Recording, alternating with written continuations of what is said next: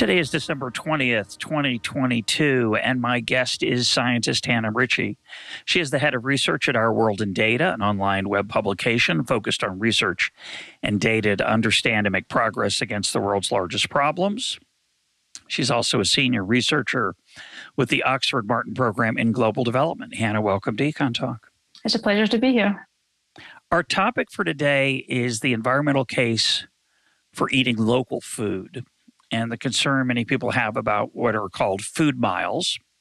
Uh, let's just start with um, the obvious seeming truth that importing food or eating food that comes from far away would seem to be worse for the environment than food that, that is nearby.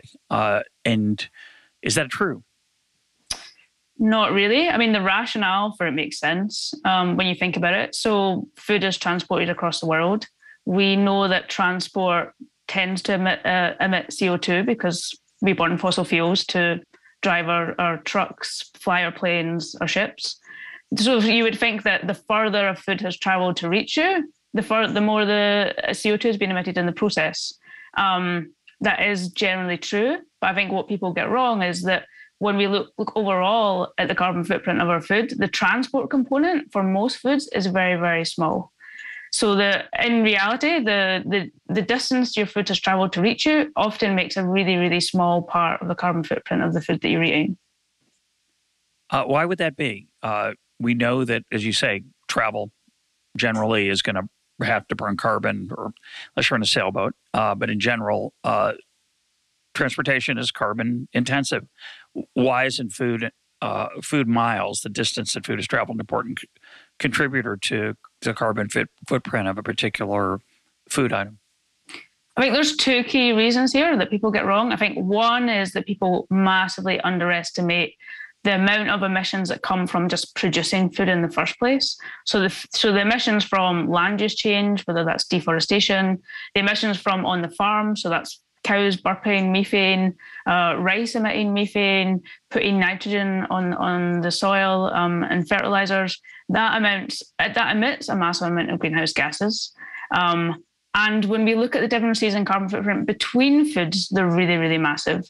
So I think for make, people might have in their head that maybe the differences are maybe 10 or 20%. So some foods have 10 to 20% higher emissions. When we look at the differences in carbon footprints of foods, we are between the, the highest and the lowest, we're talking about 10 to 50 times as much. So beef, like a kilogram of beef, will emit 10 to 50 times as much emissions as tofu or soybeans.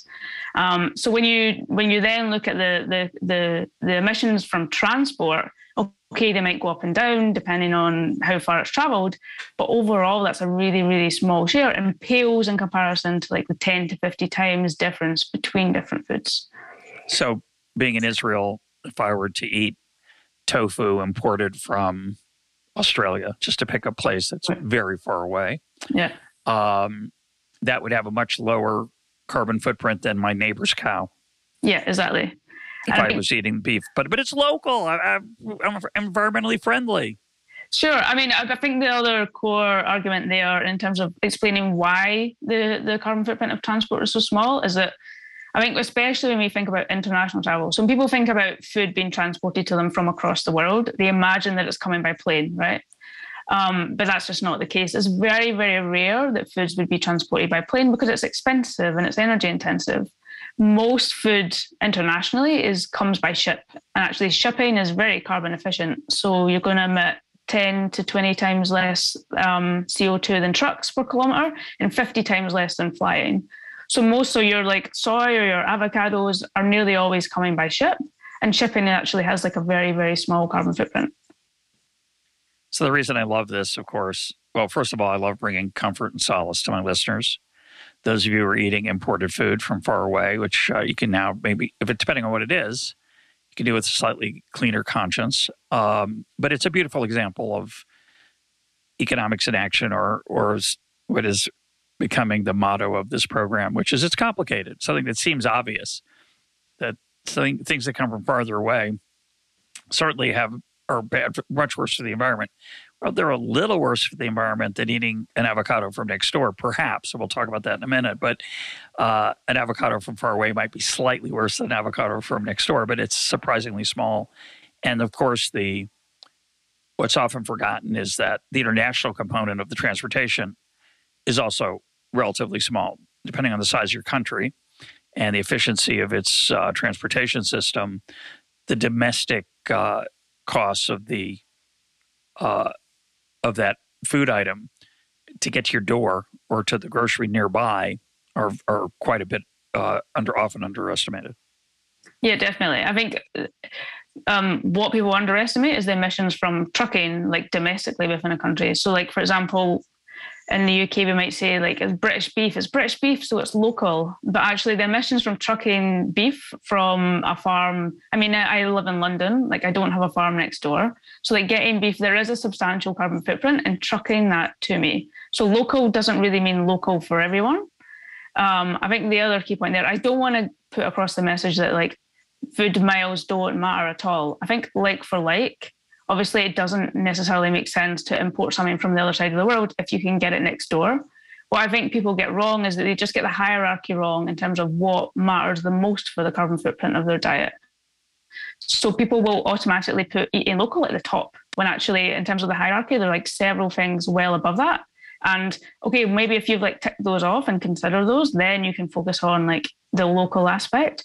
But most people put it at the top, which is just incorrect. I think I think that that local point is um, is quite subtle and quite beautiful. To walk across to your neighbor's orange tree and pick oranges and take them back to your place is radically different in terms of carbon footprint from buying anything in the store because any, almost anything in the store has come by a truck and trucks emit a lot of uh, use a lot of carbon uh, to to get around. And even in a small country like uh, England, the UK, it's um, not not insignificant. And for a large country like the United States, to get your avocados from California to um, Florida, I assume that's mostly going to come by truck. There's no boat, and, and they're not going to make it by plane, right? Right, exactly. I think, I mean, maybe we'll get onto this paper, but there was one paper that came out which was arguing recently that food miles did matter a lot. Um, and that eating, eating local was was was a really important thing to do, and it was published in Nature Food, so it got, of course, lots of attention. But actually, when you dug into the study, I mean, there was various flaws of the study, but when you dug into it, they ran a scenario where they said, okay, like every country in the world is going to go for this, like this very hypothetical everyone, every country in the world is just going to have a nationalized food system. So there's going to be zero international trade. And they modeled like what would happen to um, food transport emissions. And basically, the results they got is that you would reduce food emissions by 1.7%. So less than 2% for the whole world going for a national food system. And one of the key reasons for that is although you were reducing um, emissions from shipping or small amount of flying, you were displacing that by having to truck things around domestically because a local food system is not is, for most people it, it's not realistically getting it from your local farmer. It's getting it from 50 miles away or more. Well actually it's an underestimate of the effect because food would be so expensive. A bunch of people would die and then there'd be less um, food transport probably. Mm-hmm. so it's probably bigger than 2% but it's not really a good story um, or 1.7% yeah, I mean that was a very like hypothetical scenario, and I think the key the key point there is that the result of like a reduction of less than two percent did not match the title or the subtitle, which was saying that eating local is really important because the result just didn't match the message. Yeah, we we are going to talk about that, so let's turn to that now. I don't mean to disappoint you, but um, not everybody is excited by nature food. Many of us have never heard of the journal, but I assume I looked it up after I read your article. I I assume it is part of nature which is a very prestigious uh, science publication. So they have started a journal called Nature Food to look at these kind of sustainability issues, maybe other issues related to hunger and poverty. And this splashy article was that food miles are 20% of, of, of emissions. And you had many critiques of the article, and we'll post both the original article and and Hannah's piece on it. But your your your point was that first one of your points was that they mis- measured emissions And secondly, that they redefine food miles. What did, what did they do to food miles? How should we think of food miles generally? What's the way it's what's the consensus? How is it generally thought of? And what did they do that you thought was kind of strange? Yeah, so food miles is, is defined as the distance that your food has traveled from production, so from the farm to reach you, the consumer. And that's the transport of food. And the, the transport of food is the key point there. It's not the transport of anything else, it's the transport of food. And that's how it's been defined in the scientific literature. I think that's how the public recognizes and understands that term. And actually, the authors of this study like stated that in the opening paragraph that this is the definition of food miles what they did in the study was basically redefine that to not only include the transport of food, but also the transport of everything upstream of that. So, fertilizers, machinery, livestock, fuel for like cooking the food. So, basically, the transport of everything that you might consider as inputs into the food system, which is why you just get a much bigger number because we ship fertilizers around, we ship pesticides around I think what's really important about that redefinition, I mean, I think it's fine to quantify that. It's useful to know what that number is, and that might lead to important policy decisions. But it's not good to label that as food miles and reframe that as being important for local food because the transport of fertilizers, pesticides, etc., has nothing to do with eating local food. Yeah, that's cool. Um, I want to give my favorite example of these kind of surprising or uh, co- counterintuitive results uh, on environmental transport and environmentalism generally. Um, about I don't know how long ago, maybe 30 ish years ago, there was a big environmental um, attack on what were called on juice boxes. And in particular, a type of juice box, um, which a lot of children, I don't know if they still exist. I think they do. In English, they're called aseptic, I think is the correct title. They're basically allow the juice to be stored without refrigeration. And it's a very thick plastic paper uh, box uh, that you can jam the straw into. This may be familiar to young children listening, which is a very small number, but maybe to their parents or uh, grandparents, that you would jam the straw into the box and then you'd get the juice out. And environmentalists hated this product because the box is a lot of packaging for the juice. And they they encourage people to stop buying these and to either squeeze their own juice or or buy juice in other kind of containers. Um, what was forgotten in this analysis, and I I got this from uh, uh, an executive at at Coca Cola. Coca Cola, I think at the time, and maybe still does own Tropicana, which is a big uh, orange juice company, and they were under attack. And uh, this really bothered him because he understood that squeezing your own orange juice, which has zero packaging, zero, because the orange comes in its own package, and then you squeeze it into your own glass, multiple use item. Well, that sounds fantastically better than surrounding the juice with these boxes. Forgetting the fact, and it's very um, analogous to your point, forgetting the fact that transporting oranges is remarkably less efficient than transporting juice. If you transport an orange, an orange is a sphere. Uh, it's going to be transported in boxes, but the number of oranges you can fit in a box and then pile into the truck is going to be radically uh, the amount of juice that you can transport effectively through a truck. That way, it's going to be radically smaller than squeezing the juice at its source, putting it in a box that is rectangularish, which you can stack, and then use the space on the truck extremely efficiently. So that was the first point. The first point was that uh, the air around the spheres of the orange, the roundest of the orange, is a remarkably uh, inefficient uh, aspect. Doesn't mean it's decisive, but you'd want to take that into account. The second thing that people wouldn't really take into account is that Coca Cola is really good at squeezing oranges. Uh, they might be better than your home strategy, so they're going to get a lot of juice out of that orange every every time. And of course, the third thing is the rinds. You might, if you're a good person uh, environmentally, you might compost them or use them for cooking or other or, or beverages.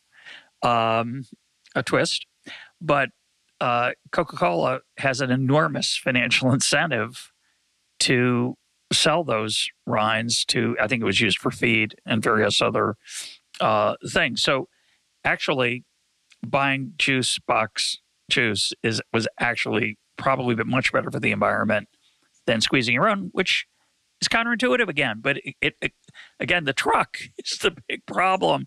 Unless you live next to an orange grove, getting the orange to your juicer is remarkably uh, environmentally costly.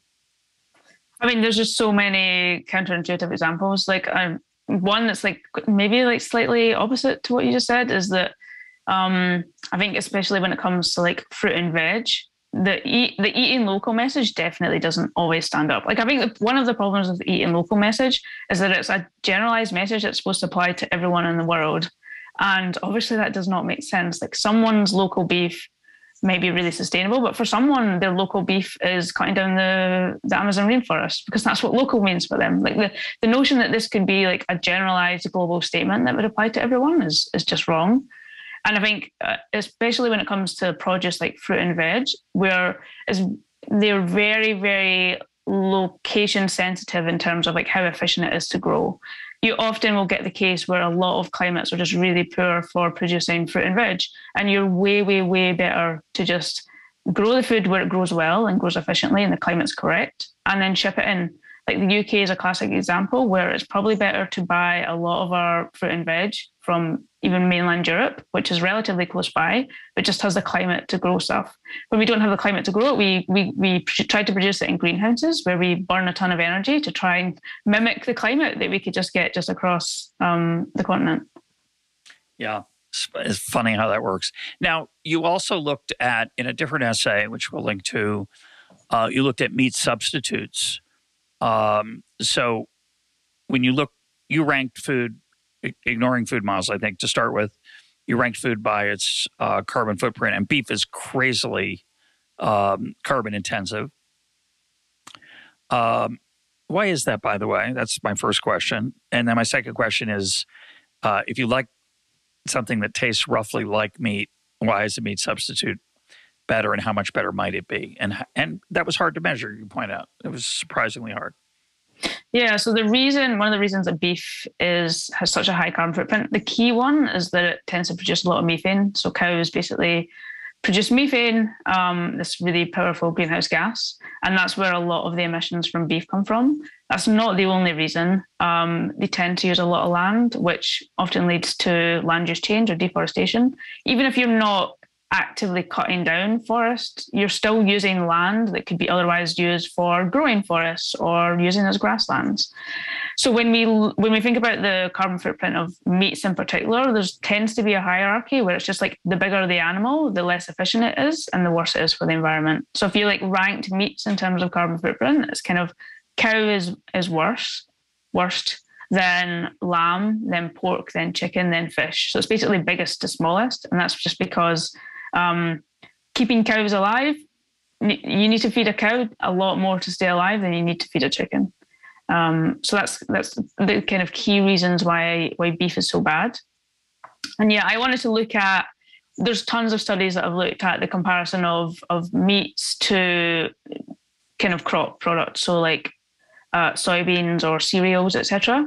I think it's, it's just very very clear that plant uh, based products have a lower carbon footprint what was really lacking is um, comparisons to like these actual meat substitute products that we see on the shelves. So the Impossible Burger, the Beyond Burger, um, and I think to like really kind of grab people's attention, it needs to be tangible and stuff that they're seeing on their shelves.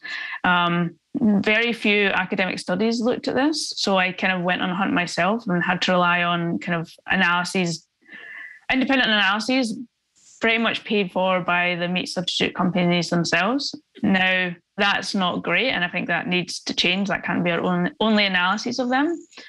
But I did deep, dig quite deep into the data and the methodology and stuff, and I think they're very sound. And even what I know based on my understanding of environmental impacts of food and the ingredients and stuff, I think the results there are very credible. Um, but it's not ideal that you would need to rely on reports basically paid for by the companies themselves but the results that, that come out is that all of these kind of meat substitute products um, have a lower carbon footprint than meat and especially beef when we're talking about beef again we're talking about 10 to 20 times less um, per kilogram or per gram of protein. And it's great that you correct for that, of course, because beef is is a vague concept. Um, that's not a very helpful way to think about in terms of measuring and comparison. You want to measure it in terms of protein. Um, what you're really saying is that meat substitutes. You're, it's a soybean sandwich. You, you might it's been fancied up a little bit. It might have some mushrooms in it or something else. The more interesting case will be the when we get to more lab grown meat. And I don't know what um, have you thought about that at all or looked into it? Yeah, so the I mean, I, am gonna like try and defend some of the meat substitutes a bit. I think some are just like soybean sandwich. I think some are actually getting like really pretty close to the experience of eating a beef burger. I mean, I think the Impossible Burger or the Beyond Meat Burger are getting pretty close. Um, I think we can do pretty incredible engineering in in, uh, in labs now. Um, but to, to get back to the lab grown meat, I think it's a still a very early stage technology. It's still very expensive, absolutely not scalable at this point. But in terms of the carbon footprint, it has a lower carbon footprint than beef by a, long shot. Um, but the key problem there is that it's quite energy intensive. Um, the good news on that front is that as we decarbonize our, our energy system, which we will have to do if we're going to tackle climate change, we need to shift from fossil fuels to renewable and nuclear energy. The carbon footprint of that lab grown meat will fall substantially just because the energy, the, the footprint of the energy that you're consuming should almost drop to zero or close to zero.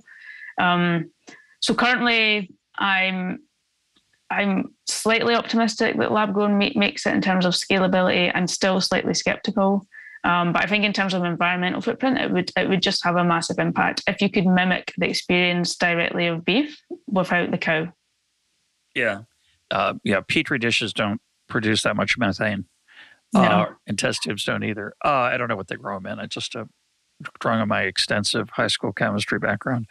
Um, there's a lot of activity in this area here in Israel. I know there's a lot of creative and smart people working on it. Uh, it'll be interesting to see over the next five to ten years how that world changes and what becomes available. I'm I'm fascinated by it, um, and of course, to the extent I, I'm sympathetic to your claim that the Impossible Burger and Beyond Meat are something. They're meat-ish, is what I would call them in terms of texture and taste. Uh, they're not quite there. I'm a I love meat, uh, and I eat a decent amount of the the occasional. I'll say beyond uh, beyond meat burger, but I think they're a long way away. And to the extent that lab grown meat will more closely mimic the taste and feel of of of cow grown beef, which is a really weird thing to say, but to the extent it, that it's able to do that, uh, I, I think the world will more will much more easily move toward lower carbon footprint diets. So you'll get people who are anxious about the environment but really love a good hamburger eating more lab grown meat to take care of that craving. And of course, if they can bring the cost down significantly, then eventually it could just be a, a financially attractive proposition, which is very, as you suggest, very far away from that right now. Yeah, I think um, well, one we can get back to. I'd like to ask you if you had like just offered you right now, like the lab grown beef burger or the the cow grown beef burger, like which you would choose, or whether you would have reservations about the lab grown one. I think to look at it in another angle, I think the developments in terms of meat substitutes they are nutritious, high protein alternatives to meat. And I think the reality is that there are billions of people in the world where they do not get enough protein, where malnour- are malnourished because they cannot afford a, di- a diverse diet. And we can't substantially reduce the cost of meat, but we can substantially reduce the cost of meat alternatives by working on these technologies. So I don't just see it as a let's reduce the environmental footprint of um, beef, especially in rich countries, but I see it as a technological pathway to like basically unlocking like affordable protein and nutritious diets across the world. Yeah. No, I think I think it's it'll be a if they can scale it and, solve some of these or improve on some of these energy issues, it'll be a game changer for for lots of way beyond just the environment. Why, why would you? Why did you ask me about my choice? You said if you put them in front of me, which would I prefer? Why do you think? Why would you be interested? What would? What would? Why would you ask me that? Because lots of people are just just have like an ick factor to lab grown meat, or a common argument I hear is, yeah, it's just not the real stuff, so I'll stick with my cow. Oh, that's interesting. It wouldn't bother me at all. Um, it might bother Nassim Nicholas Taleb. I'll have to ask him next time I talk to him. He's he's very worried about um, imprudence in that mm. kind of area that we don't know exactly what sometimes I don't know if he feels this way about this issue, but it, you know, so-called frankenfood or, or human designed food and its impact on on the various aspects of the food chain. Those are, I think, good things, very good things to worry about. My impression is I don't think that's an issue here. Um, I would be just as an aside, I keep kosher. So one of the interesting aspects of lab grown meat is that uh, Jews cannot mix meat and milk in the same meal. And so a Jew cannot have a real cheeseburger. What a, a Jew who keeps kosher, but a, a kosher keeping Jew can have real meat with fake cheese, cheese that's non dairy, and there are such things now, or they can currently have a Beyond Meat burger, which is kosher certified, with real cheese because it's the other one's not meat. If lab grown meat is considered not meat, which some rabbis will actually have already said that is the case. Someone said, yeah, but not all rabbis. Of course not. It'll almost never be the case that all rabbis will agree about whether lab grown meat is, is what is called parve, that is neither meat nor milk. So if lab grown meat is considered not meat in terms of Jewish law, you could have a cheeseburger with lab grown meat a real cheese. But now the final twist is there are people here in Israel I know working on lab grown cheese that will not be uh, considered dairy. It will have the texture and taste of real cheese, it, the way that lab grown meat will, and it possibly by some rabbis will be considered neither meat nor milk. In which case, um, Judaism won't be changed radically because many of the issues of kosher supervision revolve around keeping meat and milk separate and and and certain complications that that brings about. So it would be a revolutionary change that many Israeli um, food people are working on. Is sort of an interesting, uh, perhaps to some people. I don't know. no, that's so interesting. I'd never even considered that angle to it.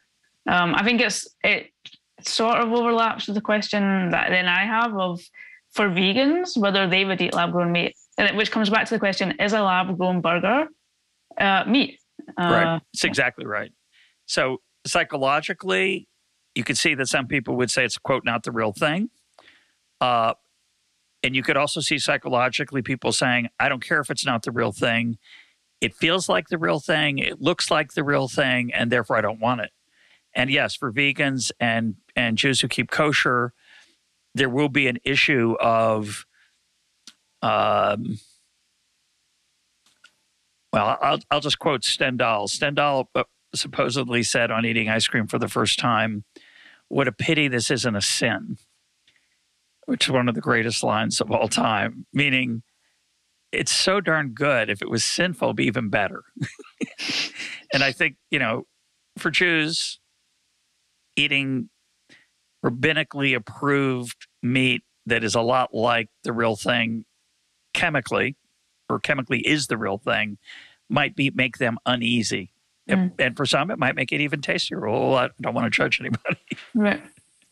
I mean, there's so many like kind of thought experiments in this area. Like some of them very practical that could actually have like a massive impact. Like the other one is like what I frame as like the hybrid burger, where you could like very quickly massively reduce the amount of meat that we eat globally uh, without changing dietary patterns just by going for a burger just going half half so like half of it's beef half of it is kind of soy or alternatives um, and i think when, when when you do taste tests with people uh, like blinded taste tests the, the majority actually prefer the blended burger I think hmm. that effect disappears when you tell them it's a blended burger. So we have the ick factor about it, but actually, if on a, on a blind taste test, we actually like the taste of it.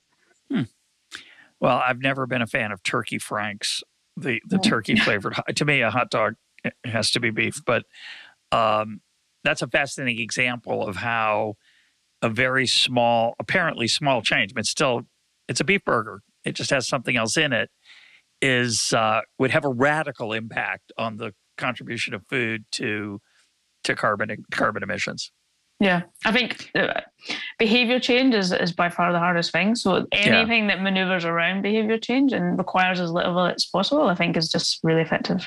Yeah, they'll, they'll um, well, a big issue with the with the at least some generation where we are on this now, but you know, meat substitutes was the color and the the the redness of it, the use of beets and other things to simulate the psychological feeling. Now, there's a weird psychological game you're playing with yourself, obviously, um, somewhere along these lines. But anyway, I, I want to turn to something different. Um, a lot of uh, people are anxious about climate change, and particularly young people have a very uh, what I would call a doomsday uh, attitude toward it. That that the world will end soon, the human component of the world. That that there's no future to the human race.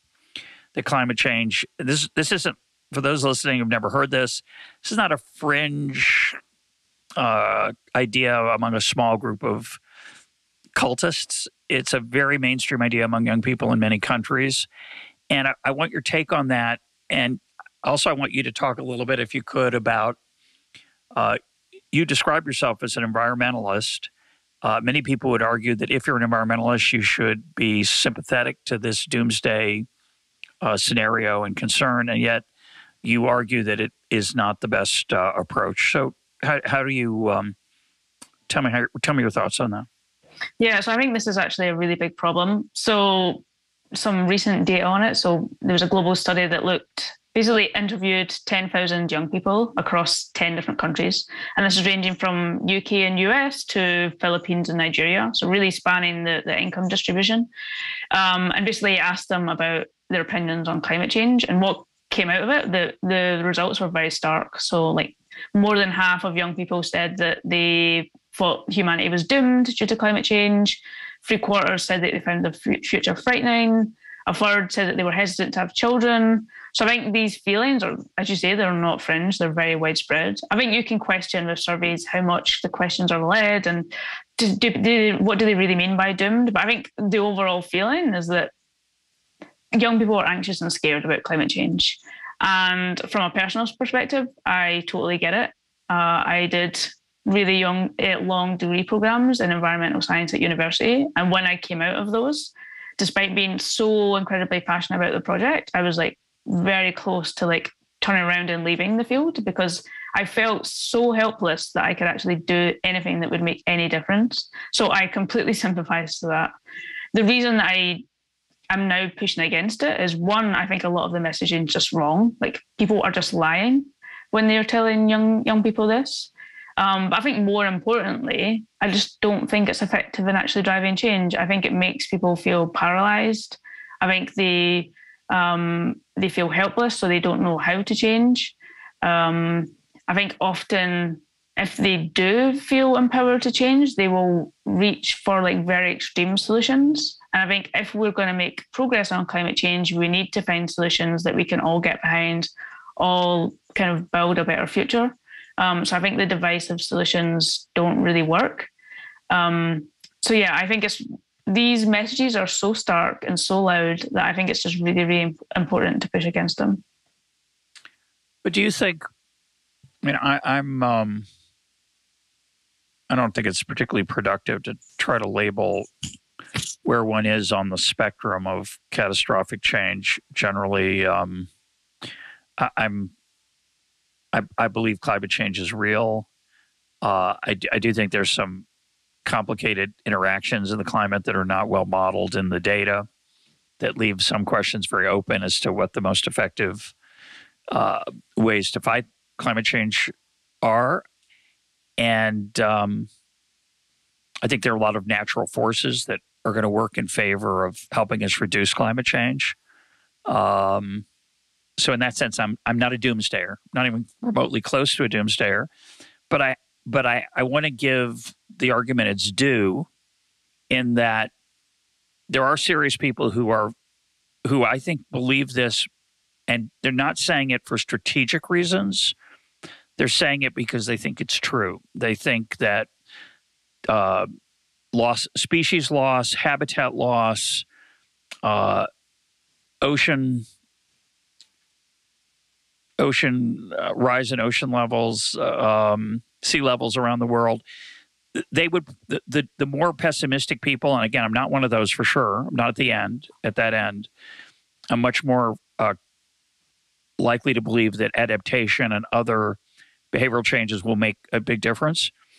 But am I wrong? I mean, you suggest that the data don't support the the catastrophic view, but there are a lot of smart people who are who are not just think of it as a small probability, but think it's quote likely or whatever word you want to put in front of it.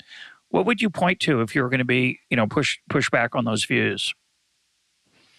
I think, I mean, I, to be very, very clear, I spend I spend my life studying this. I spend my life uh, like pushing for climate action. Um, my point is that climate change is very serious for a lot of people in the world. It will be serious. It will be a serious risk to their livelihoods if we don't take action.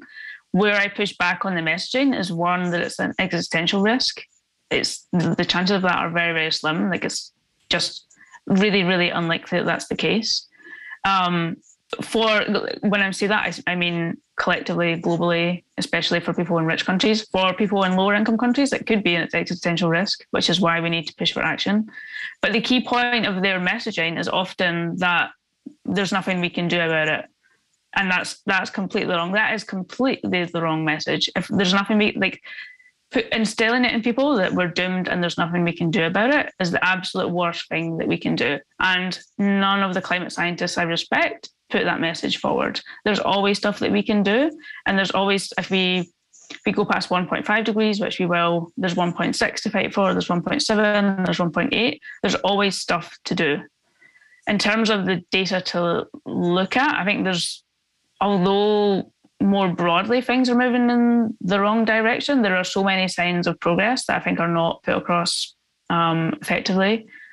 Some of the key ones are that in rich countries, especially, emissions are falling and they're falling very, very fast. Um, not only are they falling fast, but economies are growing at the same time. In many countries, we have coupled, decoupled economic growth from um, CO2 emissions.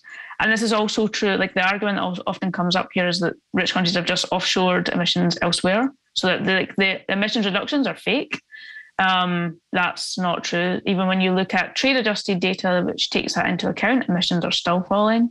Um, what makes me really optimistic is the massive changes in terms of the prices of low carbon technologies. So I think progress on climate change was so slow for a long time because there was basically no affordable alternatives. Fossil fuels were the cheapest. Um, batteries were really expensive on all of our low carbon uh, technologies, they were just way too expensive to make it into the mainstream. Um, solar prices have absolutely plummeted, wind prices have plummeted, battery prices have plummeted. Like my point is that low carbon technology is going to become the low, the cheapest option as the default, and that just completely transforms where we are in terms of tackling it. So I'm I'm a little bit skeptical on that. you know, I hear a lot of. I don't look at this carefully. It's not a deep concern of mine uh, intellectually.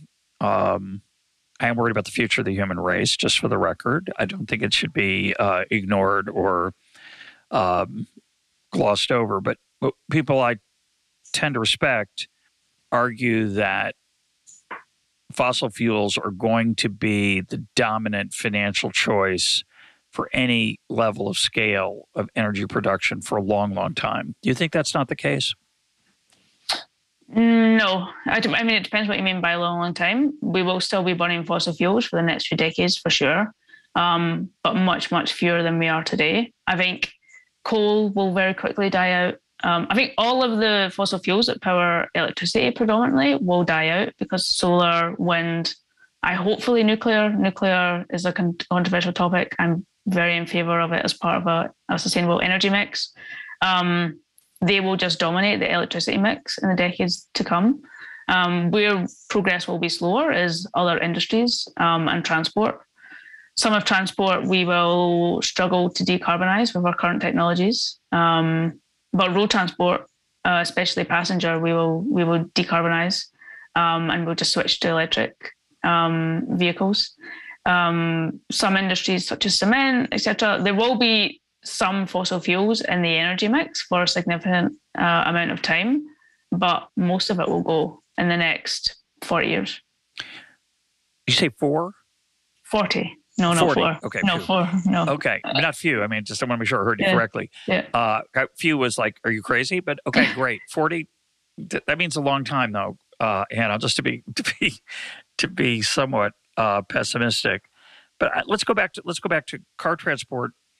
Um, electric cars, yes, can be uh, cost effective. They're close. Um, perhaps there's an infrastructure issue that's getting solved every day, gets better and better, I suspect, uh, as they spread. But that electricity has to be generated, and that electricity is predominantly generated by by fossil fuels now. Do you think there's the potential putting nuclear to the side, which I'm with you. I'm total. I'm a huge. I would be a huge advocate of nuclear if anybody cared what I thought. Uh, and certainly, if, if you ask me, I, I think we should be much more um, friendly towards nuclear. It's I mean, it's just absurd that, that we don't have more nuclear power in the world. But is there really is it really plausible that solar and wind can generate power at scale for for the grid in any quantity? And, and in particular, do you know what that number is today in a country like the United States? I think it's a tiny portion. And you really think it can grow steadily? Uh, I think here we're falling into the trap of of looking at like a single or static data point. I think the key the key point about these emerging technologies is that the curve is evolving so quickly, and by so quickly, I'm talking about literally three or four years. Especially when you look at the uptake of electric vehicles, where it's basically went from nothing to like globally, it's nearly ten percent now, which seems very small, but literally oh, that's, huge. That, that's huge, and that's happened in three years. Um, so it's not about the static data point; it's about it's about how quickly uh, these trends are shifting. I'm I'm very optimistic. I think I used to very much buy into this way of thinking that energy transitions are very, very slow. And historically, when you look, they have been very, very slow. Um, I think that has been completely bu- uh, bucked by renewables. I think we're completely underestimating how quickly they will basically transform the global economy. I'm actually very, very optimistic. So, what would be the evidence for that? So, you know, the the level putting electric cars to the side, I, I, I have to agree with you. I think 10% is an amazing change in a relatively short period of time. And they have many advantages besides environmental issues. Obviously, they're quieter, which has costs, you know, for pedestrian safety. But in general, I like that cars are quieter. Um, they have all kinds of other pluses. Um, what's the evidence that that solar or or wind, again, putting nuclear to the side, that solar wind could could scale is is there some sign of that? Are they like ramping up dramatically as a portion of, of total energy generated? Yeah, I think the one, the cost just factors into it, where um, they're just going to be the cheapest technology. So it's, it's just not going to make economic sense for people, for countries to burn coal rather than use solar and wind. Um, there's lots of evidence across a range of different countries, actually across the income distribution, because it's not just rich, like a uh, rich countries. There's um, ramping this up, like across the income distribution, there are a number of countries where it's evolving very quickly. Uh, in the UK, for example, coal has just completely died, um, and that's been replaced. It, um, we're not going very hard on nuclear, so it's not nuclear that's replacing it. It's uh, like some of it is gas, but a lot of it's just solar and wind in recent years. Well, the transition to gas is a little bit like the half meat hamburger, right? right? It's it's a it's a more carbon efficient fossil fuel. And I think, you know, the fracking revolution has had a remarkable impact on that. The first, I assume, I assume an enormous part of the of the transition that you talked about at the beginning of this conversation and this topic is driven by the substitution of natural gas for, for coal as a first step. What I'm skeptical about is the transition from natural gas to solar or wind. And I would love to be uh, proven wrong. Uh, recent family debate, I was accused of being pessimistic. And I said, I am, of course, open minded about this. So, and I'm going to rely on you to add some um, reading for for me and my and our listeners uh, that will add to the to the notes on this to get sure. some feel for why you're as optimistic as you are. Sure. Um, deal. Deal. Can I ask why you're so skeptical? Because again, my impression, which again I'm not, I don't follow closely. My impression is that while there have been improvements in the amount, the total amount of um, solar and wind in in various markets, they have not moved to a significant portion, is my impression. So I'd love to be proven wrong about that. Uh, and I worry also that to the extent that they have made a dent, it's due to subsidies. Now, subsidies is not the worst thing in the world if you think there's an externality from from fossil fuels. Maybe they should be subsidized. The question is how much, and and the the goal of life is not to get to I don't think to get to solar or wind as quickly as possible. That would require a massive rearrangement of investment that and, and national spending that I think would probably be a mistake. So I just I don't have a feel for that other than that my impression is is that people are overly enthusiastic about it. So I'd love to be proved wrong or to be educated. So we'll that, that's your your project after we after we finish this conversation. Got it. Okay. Uh, let's turn to your um, project that you're deeply involved in, which is Our World in Data which is a project very close to my heart. I sometimes get accused of uh, on this program of being anti-data. I'm not. I'm incredibly pro-data. I think you know we should measure what we can measure, measure it well and accurately, and compare it over time. And I view your project, uh, Our World in Data, uh, as um, a really important way of helping people figure out what's actually going on in the world. Uh, and to do that, you have to have data. You, you, know, most of my complaints about data are about multivariate attempts to tease out the independent effect of one variable over another. But in actually figuring out what the facts are and where we are in the world and what's happening and what the trends are, I think it's remarkably important. So tell me about that project, why it's important to you, um, and you know how how how it got started, and um, where you feel it's it's headed. Yeah, I mean, I think you're right that the only way to like properly understand the world is through data. I think we often rely a lot on anecdotes or news headlines, and that's how we form our worldview. And I think those stories are important, but they don't give us any understanding of how the world's changing overall.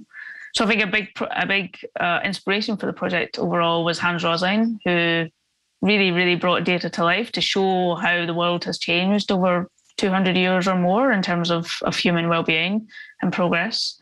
Um, so the, the project started with Max Roser um, many years ago now. Um, for most of that period, it was him working on his own and then kind of almost posting as a blog on the internet.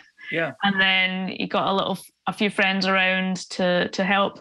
So for a long time, we were kind of three or four people. Um, and really, our motivation for the project is that we have this kind of weird position where we're almost like misfits in academia. So I'm based at the University of Oxford, but we don't do original research in, in the normal sense. Where we try to sit is between academia and the public, policymakers, journalists. I think what really lies at the heart of it is a lot of the questions that people have on changes they should make, how to make progress, what policymakers should be doing. We already have those answers researchers have done the work of figuring this out. The problem is that it's just not communicated properly. So we really see it as a role of how do we take this data and research that we have that people could really be using to put into action and make progress, and how do we try, basically translate it in a way that people can understand and brings out the key points. And we frame it around what we call the world's largest problems. And that's very broad and ranges from global poverty to the stuff I work on in environment to global war to inequality and health. So we did a massive amounts of stuff during the COVID 19 pandemic because we saw that as one of the world's largest problems. So it's very, very broad. And a key point of it, I think, is that most of these topics overlap in some way. So you can't talk about environmental change without considering inequality and global poverty. You can't talk about health without talking about poverty and education. Like all of these topics overlap. And what we want to put forward is providing kind of evidence based outlook on, on how we understand the world and how it's changing. I'm a big Hans Rosling fan. If you haven't seen his videos, um, listeners, uh, we'll link to some of those. They're glorious, and in many ways, uh, you know, he is following on the footsteps of, of Julian Simon, who I would call fundamentally an optimist about the human enterprise. That that human creativity is the is the ultimate resource, and that we underestimate our ability to respond and to change, and that static picture we often have is is misleading, and that we go back in time and see how much change has already happened, and we can sometimes look forward to think of what might be possible. Uh, I think of it as as a fundamentally optimistic uh, perspective on the human experience, and I find that what I find interesting, and I want you to respond to it, is most environmentalists are what I would call pessimists. They're worried and they're anxious uh, and they want to make you nervous and scared. A lot of our world of data is to make you feel better. I know that's not the literal goal. I know the site isn't, it could be called Sleep Well at Night, but it's not. It's called Our World of Data. I'm interested in more than what can be measured, but what can be measured is not unimportant. And a lot of that is rosier and better than it used to be. And we should be aware of it in how we think about the world and, and whether we sleep well at night. But you, as an environmentalist, do you find that difficult. I mean, a lot of what our world in data publishes, and, and maybe it's only because of what I see because of my biases, but a lot of it is like, yeah, it's not as bad as you thought, is it? And that's generally not the environmentalist um, chair. So, what, what are your thoughts on that? I'm going to push back on that a little bit. I, I I don't like that we are framed as like these optimists that like help people sleep well at night. I mean, we try to make people care about global poverty or global health or child mortality. Like it doesn't, I don't sleep well at night knowing that 5 million children will die this year or just under 10% of people live in extreme poverty. Um, what I think is true is acknowledging that we've made a ton of progress. And those statements are not opposite to one another, and people consider them often opposite to one yeah, another. Well said. Like my, so my colleague Max Roser um, often frames like three statements are true at the same time. The world is terrible. The world is much better. The world could be much better. And like all of those three statements it can coexist at the same time and we shouldn't see them as opposites. I think we need to acknowledge the progress we've made and actually study how we did it to make sure that it continues. I think that's the key point we want to get across is that on a lot of human well-being measures the world is much much better. We need to but still not perfect obviously. And we need to use that information and knowledge to understand how we continue that progress. On the environmental front it's true that often the cost of human progress has been a degradation of the environment. Um, I think what why I'm maybe slightly rosier than a lot of environmentalists is one, I think, as we discussed earlier, I've I think the, the recent data on environmental change is very positive and things are eventually moving very quickly when they'd stalled for a long time. Um, but the other dimension to this is that, and I was definitely in a position where I had no understanding of the human progress that we'd made. So I was, I come out of university, all I was faced with was CO2 emissions, deforestation, ocean acidification, all of these ter- terrible environmental problems. And at the same time, I thought more people were hungry than ever. Global poverty was the highest it's ever been. More people were dying from natural disasters than ever before. So then just everything seemed hopeless because we were completely ruining the environment. And it was a of no um, no importance to human progress whatsoever. Like everything was getting worse at the same time. I think for me, the changing factor has been I can now see this this historical trade off where things have massively improved on home and progress and it's came at the expense of the environment. And where I see it now is how do we take those two things that are framed as trade offs and make them happen together? How do we make progress on both at the same time? And I think we are in a very unique position where, where we can actually do that. Yeah, of course, richer countries tend to be more concerned about the environment because they can be uh, or citizens in those countries not unimportant. And when citizens have a voice, uh, their their material well being is not unimportant, and what they're willing to make sacrifices for. So that alone is important. But um, you know, I think a lot of of what you publish, our World in Data publishes, is um, yeah, I, I, didn't mean to suggest you're just providing a therapeutic role, but but it it is, I think, as you said, I think it's really important to understand where we are, where we've been, and where we're going. And um, where we are can be, we need to be better. Where we've been is much worse, and where we we going could be much better still. And I think that's the right way to look at the human experience materially, as long as you take account of what the sources of those changes are. They're not, um, they're not automatic. They depend on certain institutions to to allow the just the one I just mentioned, a democratic institutions where people's voice matters, has an impact on climate, um, and um, that's just one of many. Yeah, I think the the to come back to Hans Rosling, I think people often framed him as an optimist, and he absolutely hated the term because I think people see optimism as this like blind optimism where. Yeah. If you just leave it, it'll just get better, and you can just sit back and do nothing. Yeah. Whereas he framed it as a possibility, possibilitist. So we can make it happen if we want to. Like the decision is ours, basically. We can make it much, much better, or we can sit back and do nothing and let things get worse. But the opportunity is there. Yeah.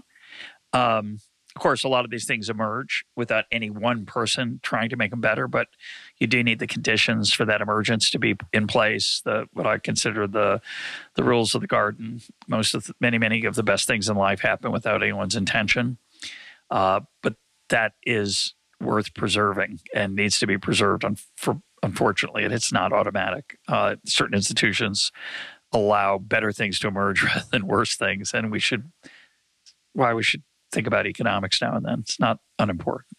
Yeah.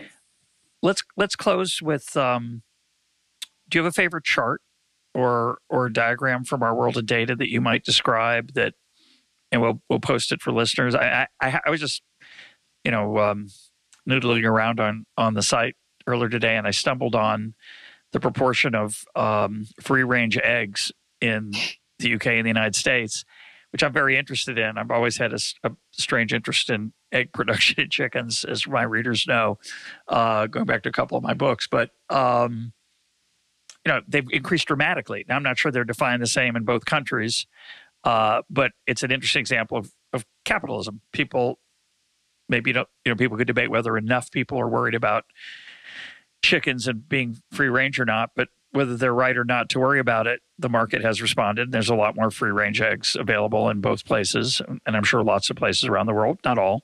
Um, that's just a fun thing I noticed. You know, it's fun just to play around on the site. But do you have any favorites of things that you that particularly speak to you or spoke to you when you first got started on this? I think I'm going to be cheeky and pick two. So I think the first one is so Max Roser made this chart, and it's the world is 100 people over 200 years and it's basically a facet where it shows poverty, child mortality, vaccination, education, etc., and two others. I think literacy and oh, democracy, um, and um, basically shows how the world has changed over the last 200 years. And basically, you just see these dramatic changes where the default in the past was extreme poverty, and now it's less than 10%. More than half of children died. Now it's um, less than 5%. Um, just these really dramatic changes in, in, in the human condition, which um, has been a big inspiration for me and has actually massively shifted my life because I've I've been able to commit to making a difference because I understand that these changes have happened. Um, so that that's almost been like a counter to like my environmental background where I was just not aware of these changes. But I need to include an environmental one. So probably the environmental one I can uh, include is looking at the mammal kingdom and how it's now distributed. And what we see is that wild mammals are now less than 2% um, of, of the, the world's uh, mammal biomass. So basically, the world's mammals is dominated by humans and our livestock, and wild mammals have been shrunk to basically nothing. And I think what that just really, really flags for me is this responsibility that we have to to build a sustainable future, to look after uh, ourselves and future generations, but also other species. Um, and I like to frame. I I like to think about this the Stewart Brand quote, which is oh, "We are as gods, so we better get good at it." I think humans, we just now we just we just dominate the world, and I think we we need to take that responsibility very seriously.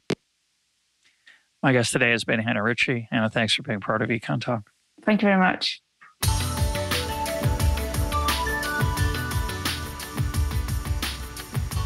This is Econ Talk, part of the Library of Economics and Liberty. For more Econ Talk, go to econtalk.org, where you can also comment on today's podcast and find links and readings related to today's conversation.